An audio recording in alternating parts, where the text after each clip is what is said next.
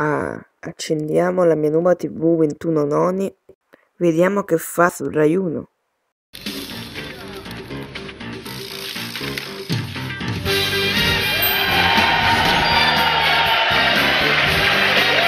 Eccoci, eccoci!